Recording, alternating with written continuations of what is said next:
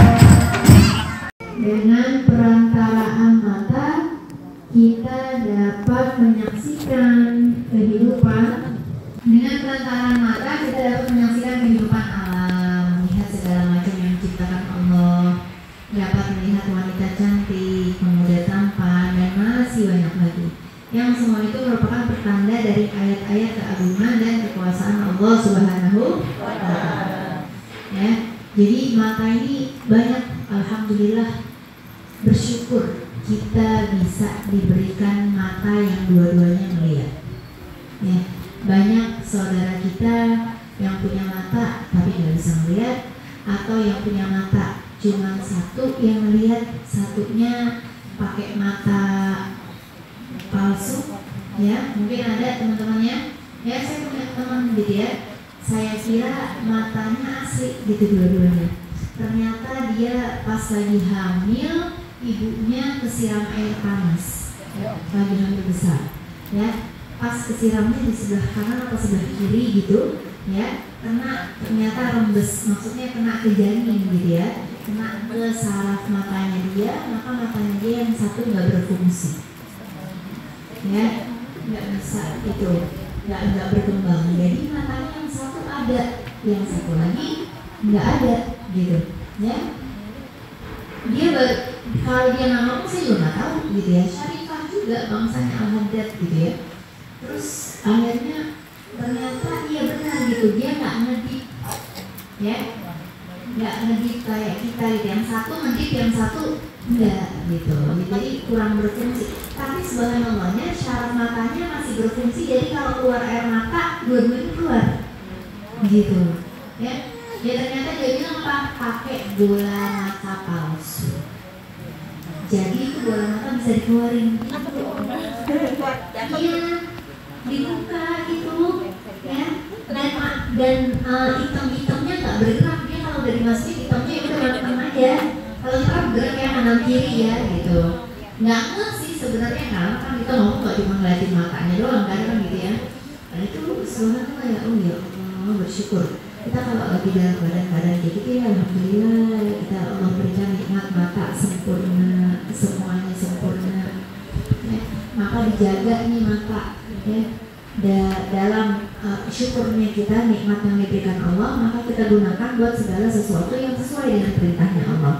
Dapat menyaksikan kehidupan alam ya macam-macam yang diciptakan Allah. Alhamdulillah kalau ke puncak melihat bagus banget ya pemandangannya ya melihat ke pedesaan sawah-sawah ya Allah hijau-hijau enak banget.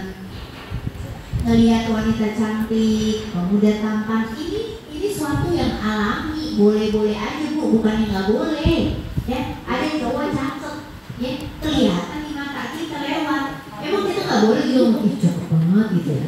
Boleh boleh banget ganteng banget gitu ya. Boleh boleh aja sekedar lewat rezeki. Bahkan kita kalau ada cewek cantik itu lagi cantiknya masya allah kan gitu ya.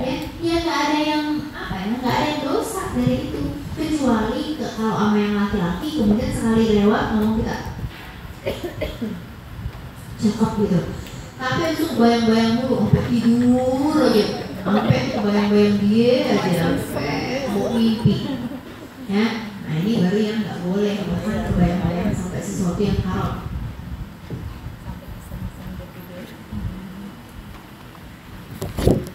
Ah, sampai kesang berharap besok ketemu lagi deh. ya, kemudian uh, banyak lagi ya yang merupakan semua pertanda dari ayat-ayat keagungan dan kekuasaan Allah. Maka digunakan buat melihat Al-Qur'an atau yang lain-lain. Karena begitu besarnya kenikmatan yang diperoleh lewat mata, maka wajib kita syukuri. Yang demikian dimaksudkan agar dapat selamat dari segala kemudorotan ataupun kemaksiatan yang dilakukan mata yang akibatnya sangat fatal. Hendaklah kita sadar dan menyadari serta selalu memikirkan rahasia mata dititipkan atau dititipkan, ditetak, dititahkan ya buat apa kita, untuk apa kedua belah mata kita gunakan. Pada dasarnya Islam telah memberikan tuntunan terhadap kita dalam menggunakan atau memanfaatkan mata. Allah SWT telah memerintahkan mata untuk digunakan yang pertama memperoleh petunjuk dalam kegelapan bu kalau jalan gelap. Ya dalam suasana gelap ada mata. Gitu ya. Oh melihat ini awas awas ada bolong awas ada bolong awas ada ini ada itu. Subhanallah ada mata. Kalau nggak ada mata susah. Ya maka untuk bertunjuk dalam kegelapan yang kedua untuk memperoleh pertolongan dalam menuntut segala hajat hidup di dalam mengarungi kehidupan ya. Dengan mata bisa kerja bisa jualan bisa belajar bisa baca kitab ya. Membantu kita dalam segala kehidupan kita. Bisa masak mana bawang merah bawang putih dia tahu ya. Mana apa tuh? Yang bumbu-bumbu dapur itu ya. Nah itu kan bisa dilihat yang ketiga untuk melihat dan menyaksikan segala keindahan yang telah Allah SWT ciptakan baik keindahan yang ada di langit maupun di bumi. Selanjutnya agar kita dapat mengambil iktibar dan pelajaran serta pengetahuan tentang kekuasaan keagungan dan kebesaran Allah Subhanahu wa. Makanya kalau lagi jalan-jalan Bu dilihat pemandangannya, dilihat alamnya gitu. Ih, Masya Allah bagus banget. Ya. Bahkan dikatakan eh, apa namanya melihat dengan pandangan ibadah ya. Eh, saat khairum min ibadah sana ya. Melihat sesuatu dengan kekuasaan Allah gitu ya ingat Allah itu lebih satu jam aja lebih baik daripada ibadah seribu tahun ya.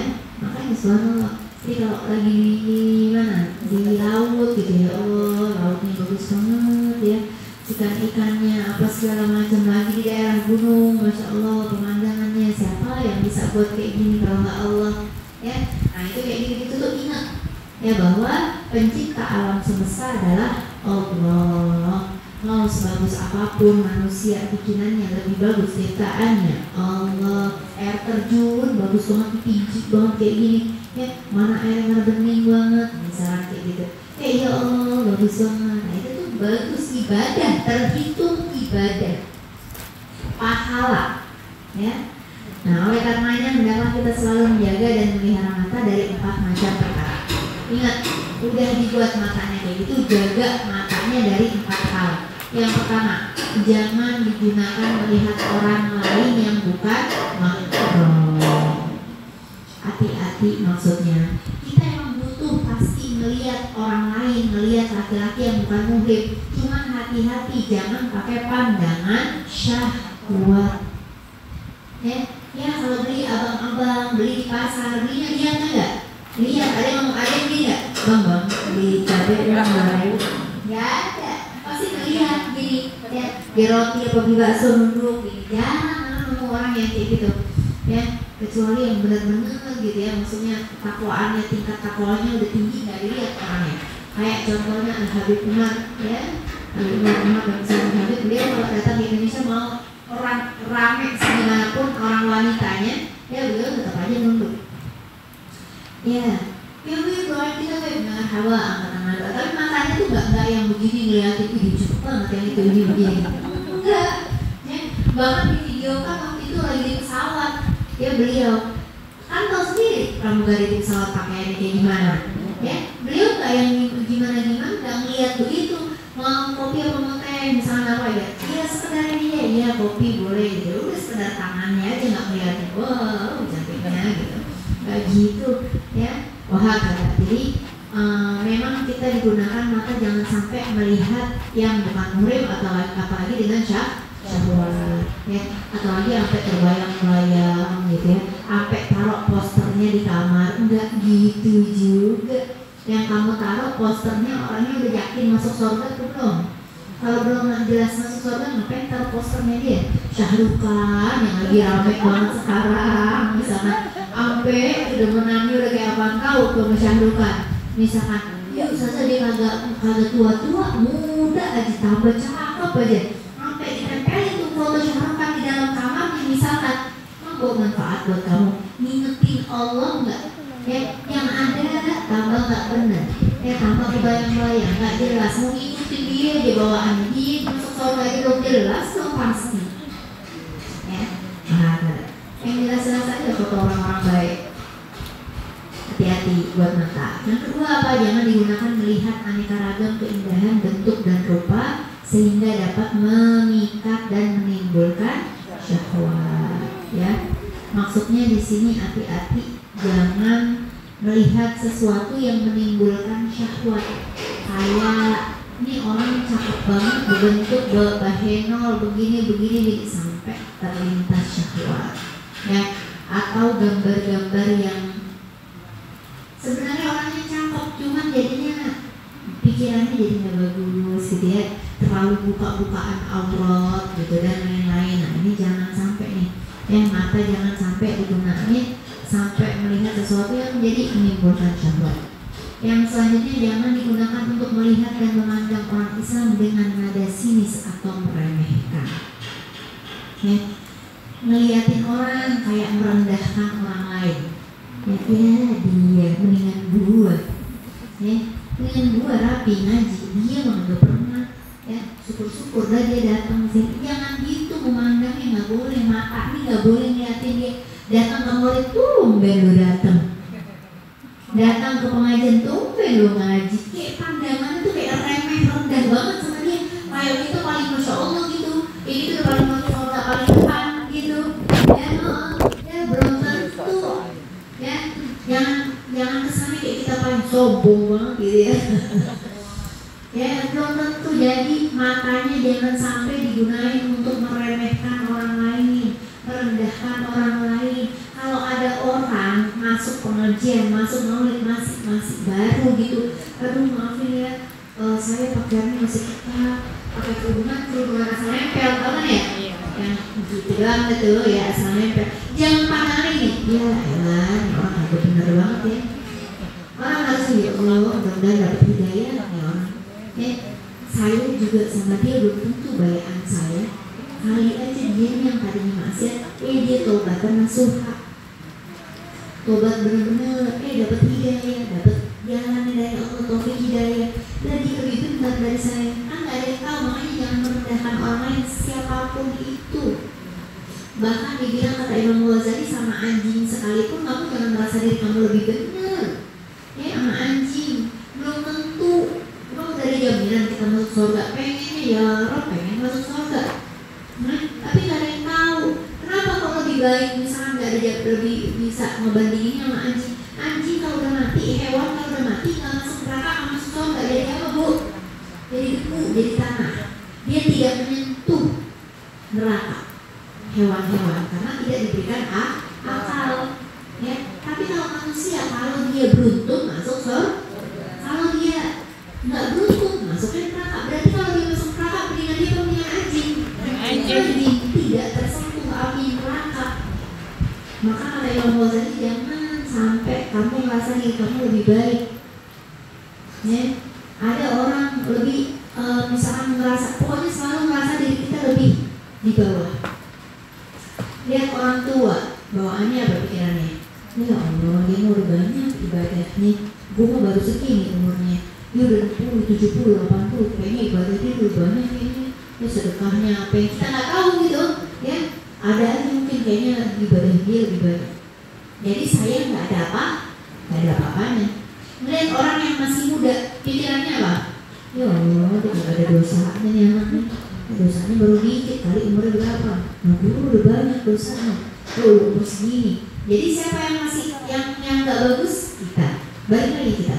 Melihat orang alim, ya Allah, dia alim banget ya, kayak gitu banyak dosa gitu ya tiap hari ngerjain dosa dia makanya enggak gitu ya Allah mudah dapat berkahnya hidup di sini sama orang-orang gitu kita yang merasa rendah melihat orang yang enggak benar atau melihat orang uh, yang enggak punya ilmu ya Allah dia nggak ngerti. Dia ngerjain maksiat karena dia nggak tahu ilmunya. Nah, saya yang tahu ilmunya. Yang ngaji tiap hari. Senin Selasa Rabu Kamis pagi siang sore ngaji. Tapi masih aja mak. Siap yang mendingan dia dia nggak tahu ilmunya nggak pernah ngaji. Ya saya yang tahu ilmunya. Masih aja. Begitu. Ya, jadi merasa diri kita masih terus di bawah. Ya nggak lebih bagus dari orang makanya apa jangan suka memandang remeh orang. Jangan suka menghina orang dengan pandangan mata. Karena ini mata. Orang kan kalau melihat sesuatu kan lihatnya dari apa? Mata. Eh udah dijawab Widih cacat, widih begini begitu. Ya mulut bisa ngomong karena mata melihat. Ya, nah ini jadi hati-hati. banget. Kemudian juga dikatakan jangan digunakan melihat kepada orang lain sehingga menimbulkan ketakutan pada mereka. Ya, pandangannya sinis banget, yang kayak kayak galak gitu, ya mau mau ngucapin salamnya sungkan, datang-datang mukanya eh, serem banget gitu ya, mau salam takut kan dari sautin, ya jangan bikin muka atau mata yang nggak enak lihat orang ya yang senang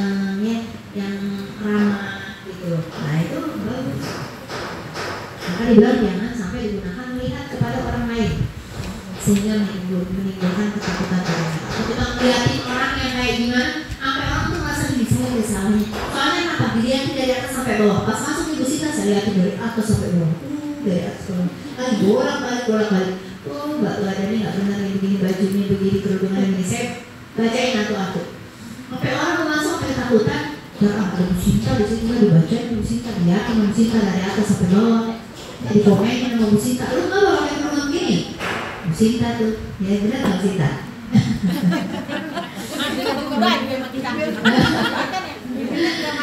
ya nah itu maksudnya apa? Jangan sampai orang tuh ya Allah saya takut tuh masuk begitu kan ini dilihatin begini begitu nah itu nggak boleh.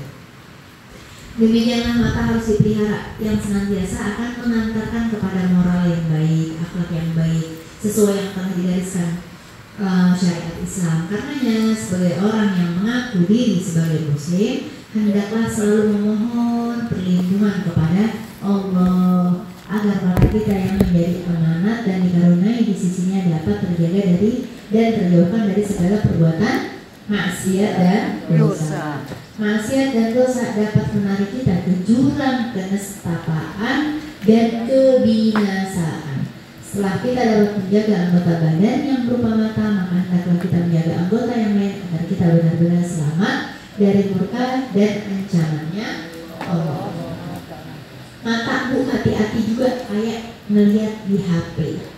Ya, bu di HP ibu mau cari ini teman-teman semuanya ya adik-adik kalau mau nyari mau cari dari yang dosa sampai yang nggak dosa ada.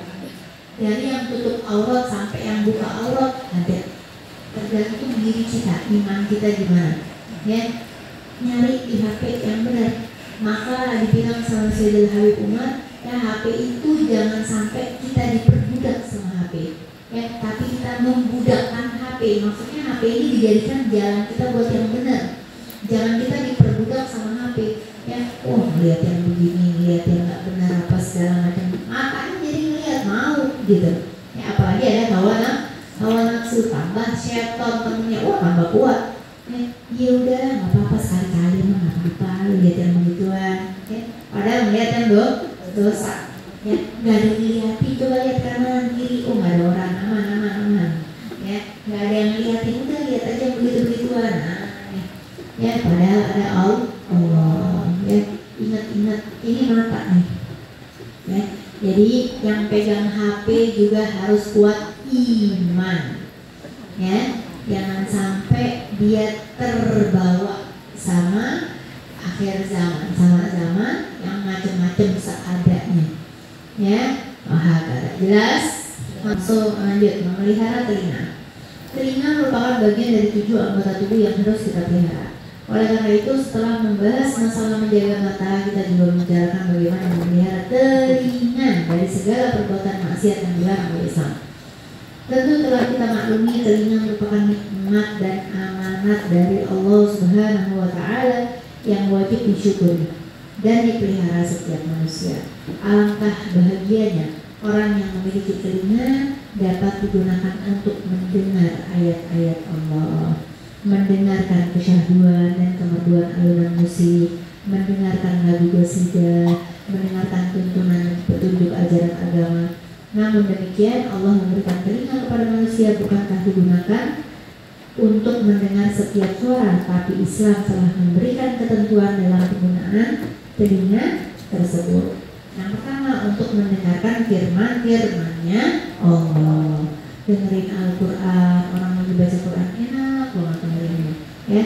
Atau dengerin firmannya Allah yang baca atau yang membaca ya ya itu pakai mata juga pakai telinga juga. Makanya beruntung kita punya telinga tuh alhamdulillah ya. Banyak orang yang hmm, nggak hmm, bisa dengar tunarungu ya. Atau tadinya dengar karena kecelakaan satu dan lain hal jadinya nggak bisa dengar ya. Maka kita bersyukur nih suara saya terdengar kayak ini bisa jelas kedengaran gitu. Ya alhamdulillah syukur. Ada kayak gitu-gitu kita lupa bersyukur ya mata bisa melihat enak coba mata kalau bimpitan. Ya Allah. Membuka sakit perih mana ini mana itu. Ya sakit mata deh. Ya itu lagi nggak enak. Kayak gitu baru inget ya Allah. Baru inget ya Allah. Kemarin kemarin aja pas sakit eh pas sembuh pas sehat. Ya ada syukur-syukurnya. Maka telinga juga enak ya nikmat mendengarkan firman Allah. Yang kedua mendengarkan sabda Nabi Muhammad ya hadis-hadisnya Rasulullah mendengarkan hikmah para kekasihnya Allah. Ini pelajaran-pelajaran kayak gini. Bisa disampaikan didengar dengan telinga kita. Ini ibadah ini bukti rasa syukur kita kepada Allah. Telinga kita sekarang kita ber, uh, uh, mendengarkan suara belajar ya kajian atau pelajarannya orang-orang soleh. Ya solihin aulia usalihin ya maka dengan kayak gini ya Allah mudah-mudahan uh, telinga saya bermanfaat mudah-mudahan Allah kasih keberkahan terus dalam telinga dalam mata dalam uh, lisan dalam segala anggota tubuh kita ya samping itu hendaklah digunakan sebagai sarana untuk mendapatkan ilmu pengetahuan yang dapat mengantar ke suatu kebahagiaan yang kekal dan kenikmatan yang abadi yang telah Allah sediakan kelak di akhirat berupa surga. Ya. Jadi telinga digunakan ya buat dengerin sesuatu yang baik. Ya. Kalau misalkan dia dengerin maksiat, hmm, nah ini. Karena itu janganlah digunakan mendengarkan sesuatu yang bid'ah, ucapan libah, ya, mengumpat, berguma. Jangan sampai kita dengerin omongan orang yang enggak enggak baik ya ada orang yang ngomong orang yang ngomong kita yang de dengerin giliran orang udah ngomong pasang kupingnya panjang dia ngomongin apa tuh ya gitu ya. Nah ini nggak boleh nih. Maksiat jatuhnya di kita. Ya. Tapi kita nggak ngomong misalnya ikut doang dengerin. Sama. Ya. Sama dosanya. Ya. Jadi harus hati-hati. Hati ya kalau ada orang yang ngomongin ngomongin yang nggak baik segala macam langsung pindah posisi. Atau ingetin. Ya. Kalau bisa diingetin diingat diingetin nih ngapain ngomongin orang gitu ya karena selain ngomongnya pakai lisan kuping juga ngedenger. Ngedengerin. Kita ini berhubungan satu sama lain ya. Nggak ada yang ngomongin terus kuping nggak kedengeran. Nggak ada ya. Bahkan kalau ngomong kalau bisa kuping panjang dengerin. Apa tuh ya? Kenapa tuh ya? Oh suami istri lagi berantem. Tetangga lagi bunyi apa aja kupingnya panjang oh ngapa itu ngapa ya rame banget kepo. Ya ucapan gibah ya mengumpat berhubungan provokasi perkataan keji ya ucapan mengadu domba. Ini jangan sampai dengerin ada orang ngomong kayak gitu istighfar aja. Ada orang ngomong kotor. Astagfirullahaladzim kedengeran di kuping saya gitu ya dia yang ngomong tapi kan saya kedengeran ya dosa juga sebenarnya cuma langsung ya astagfirullah ya ada orang ngomong nggak benar perkataannya nggak benar adu domba mendengarkan penuturan kejelekan orang lain ya ada orang cerita tentang kejelekannya orang lain dia begini begini begini kan kedengerannya itu di kuping kedengarannya di kuping nah makanya harus hati-hati ya.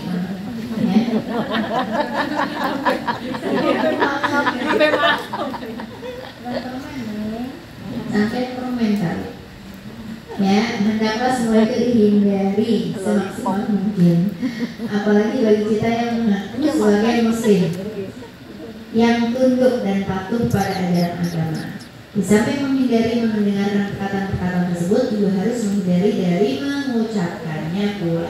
Ya, jangan sampai kita dengar dan juga jangan sampai kita yang mau ngomong. Ya, mudah-mudahan insya Allah Allah jaga telinga kita, mata kita, ya semuanya dari perbuatan maksiat. Andai kata telinga kita digunakan untuk mendengar sesuatu yang dibenci oleh Islam, yang mestinya aku mendatangkan kemanfaatkan, kemanfaatan malah terbalik menjadi sesuatu membahayakan. Ya, dan sesuatu yang semestinya akan mendatangkan keutamaan berbalik menjadi sesuatu yang mendatangkan kerusakan dan kebinasaan. Akibatnya akan mendapatkan kerugian yang amat besar. Jadi harus hati-hati banget sama telinga, sama mata, jangan sampai dari yang baik malah jadi nggak baik yang dari tadinya benar dapat pahala jadinya nggak benar nggak dapat pahala jadi dosa jangan beranggapan bahwa perbuatan dosa hanya menimpa orang yang berbicara saja nah ini sedangkan orang yang mendengarkan tidak mendapatkan dosa. Sebab Rasulullah SAW dengan tegas memberikan keterangan innamal mustami'a syarikul ga'il wa huwa ahadul mutabin ya mutabin bukan go gotil salah nih koil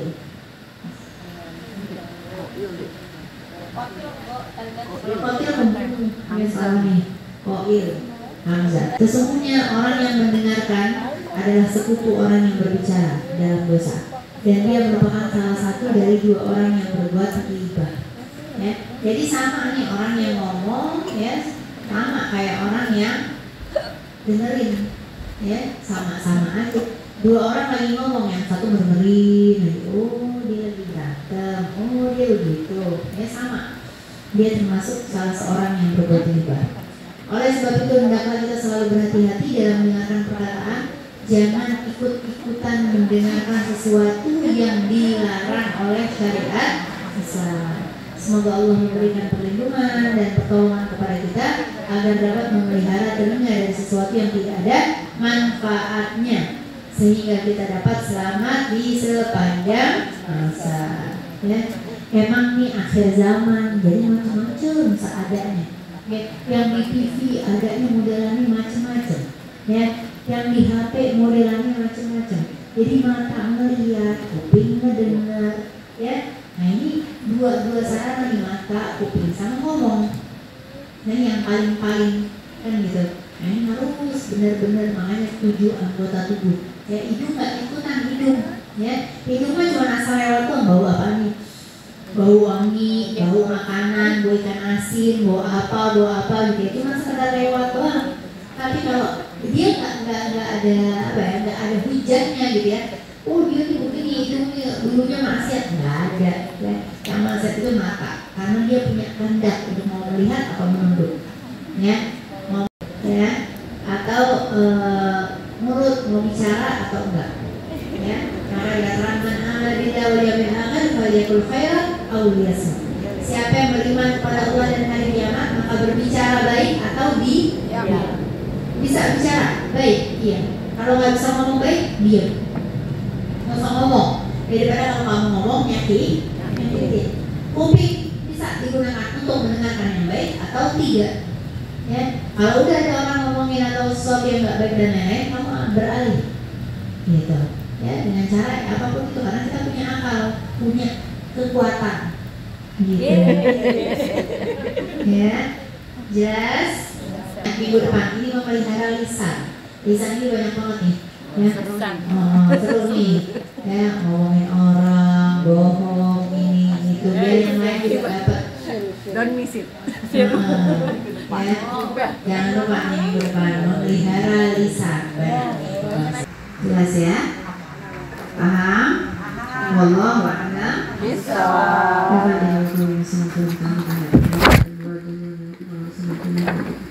قلت النبي صلى الله عليه وسلم أعوذ بالله من الشيطان الرجيم بسم الله الرحمن الرحيم.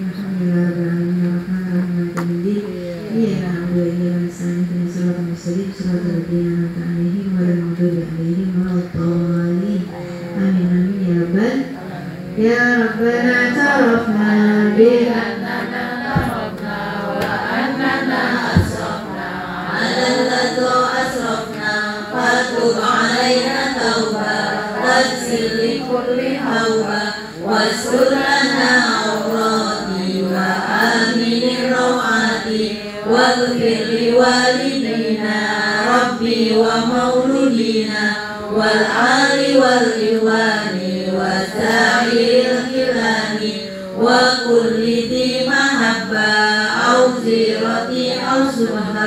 والمسلمين أجمع آمين ربي أسمع فضلا